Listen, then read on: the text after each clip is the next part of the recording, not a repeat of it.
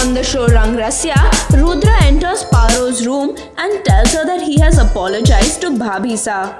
He puts medicine into Paro's eyes and poor Paro is in terrible pain.